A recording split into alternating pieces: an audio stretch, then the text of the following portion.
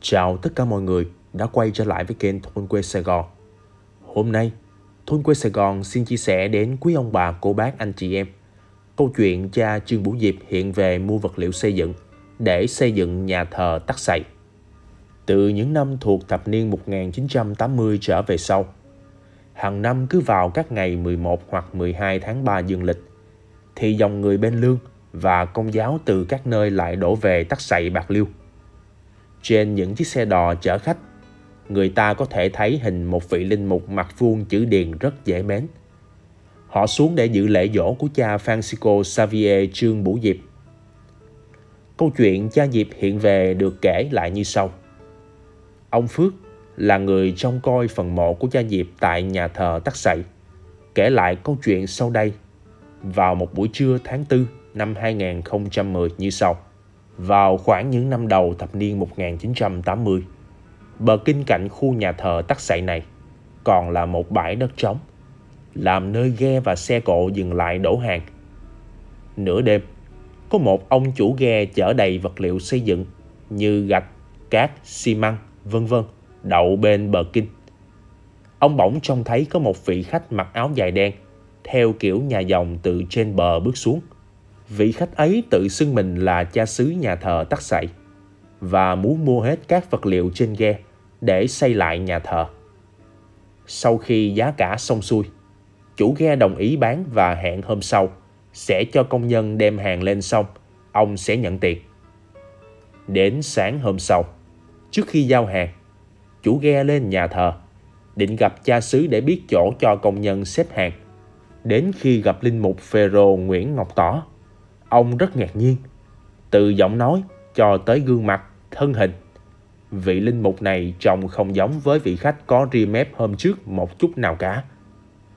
Cha Tỏ nói rằng, À, tôi hiểu rồi.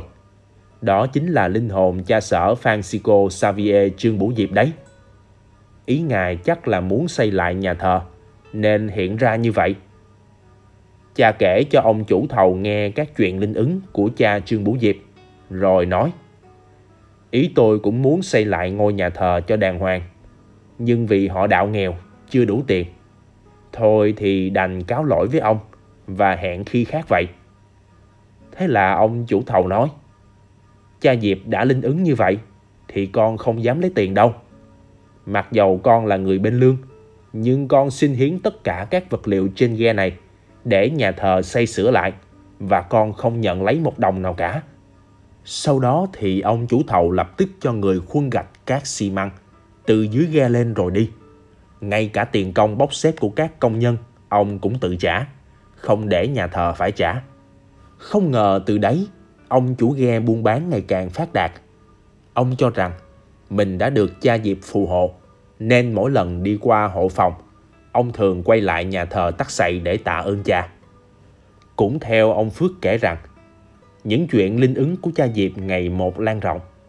Từ đó trở về sau, khách thập phương kéo về nườm nượp để cầu xin cha ban ơn lành. Nhất là các nghệ sĩ cải lương nổi tiếng. Rất nhiều người xuống Họ cầu xin cha chuyện này chuyện khác và hầu như ai cũng được toại nguyện.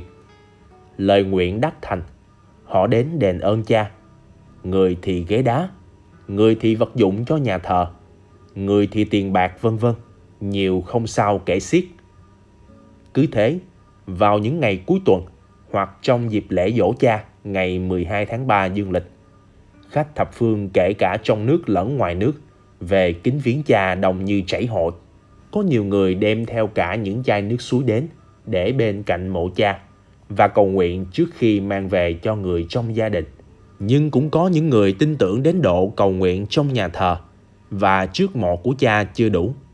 Họ còn hỏi thăm, tìm đến chiếc ao nhỏ của gia đình ông giáo sự ngày xưa để chiêm ngưỡng nơi cha bị sát hại. Điều lạ lùng hơn nữa là theo như lời của linh mục Phaolô Nguyễn Thanh Bình thì có tới 70% khách thập phương xuống giá rai kính ngưỡng cha Diệp là người ngoại đạo hoặc Việt Kiều từ nước ngoài về. Có những người chưa về nhưng đã nghe nói đến sự linh ứng của cha nên đã gửi tiền về giúp nhà thờ xây dựng được một cờ ngơi lớn lao như ngày nay. khả dĩ có thể tiếp đón bất cứ các nhóm hành hương nào, dù đông bao nhiêu. Họ đều có chỗ nghỉ ngơi đàng hoàng mà không cần phải đóng góp gì cả.